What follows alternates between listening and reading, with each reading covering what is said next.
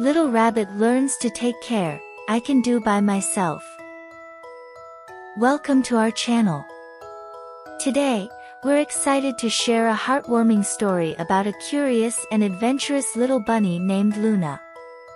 With the help of her mom, Luna is learning how to take care of herself and do things all by herself. Follow along as we take a peek into Luna's day and see the importance of self-care and independence, with a little help from a loving parent. Meet Luna, a curious and adventurous little bunny who loves to explore the world around her.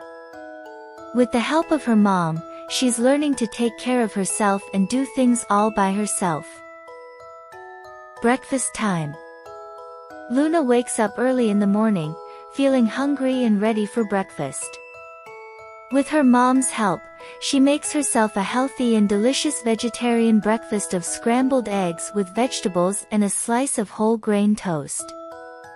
I can make my own breakfast with mom's help, she says proudly. Getting dressed. After breakfast, Luna decides it's time to get dressed. With her mom's help, she picks out her favorite outfit, a soft and cozy sweater, pants, and comfy socks. She tries to put them on all by herself, and with some help from her mom, she succeeds. I can dress myself with mom's help, she says. Playtime. Luna loves to play, but she knows that she needs to take breaks and rest her little bunny body.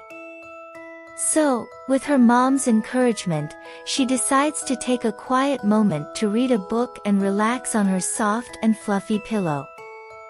I can have quiet time by myself with mom's encouragement, she says.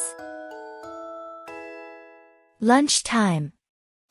It's lunchtime, and Luna wants to make herself something healthy and tasty. With her mom's help, she makes a vegetarian salad with lots of colorful vegetables, fresh herbs, and a drizzle of olive oil. I can make my own lunch with mom's help, she says with a smile. Nap time. After lunch, Luna feels sleepy and decides to take a nap. With her mom's help, she gets her soft and cozy blanket and snuggles her favorite stuffed animal. She falls asleep feeling safe and loved. I can take a nap by myself with mom's help, she says sleepily. Dinner time. Luna wakes up feeling refreshed and ready for dinner. With her mom's help, she makes herself a warm and comforting vegetarian soup, full of nutritious vegetables and herbs.